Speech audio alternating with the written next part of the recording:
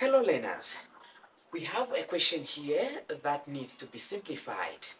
This is mathematics and the question we want to simplify is from 2024 grade 12 internal that is school certificate. This was paper 1 and we want to look at question number 1.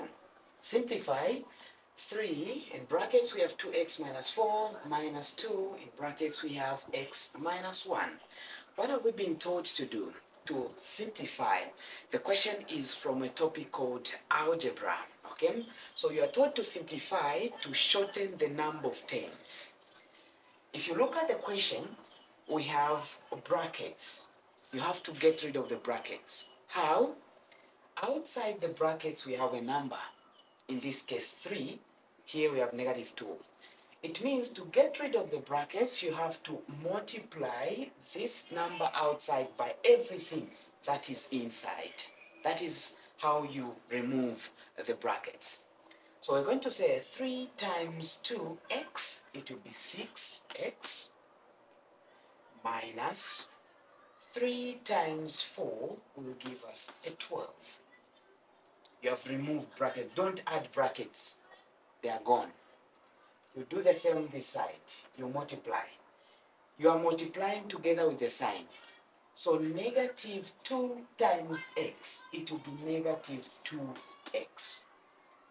The negative times negative, negative times negative will turn into a positive.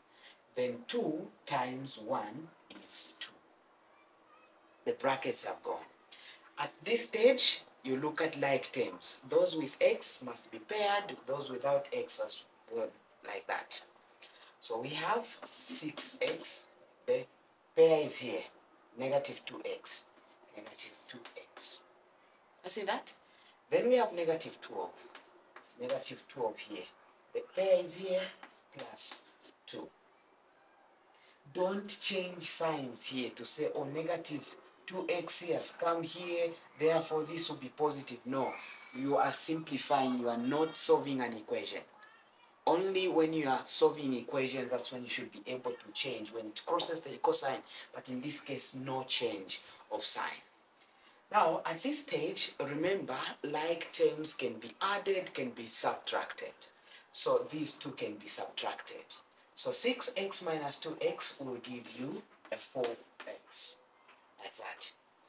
Then here, negative 12 plus 2, different signs, negative, positive, you have to subtract. 12 minus 2 will be a 10. I see that? Then get the sign from the bigger number. 12 and 2, which one is big? I'm not saying negative 12 and positive 2, I'm saying 12 and 2. It is 12, right? 12 has got negative. So the answer is negative 10.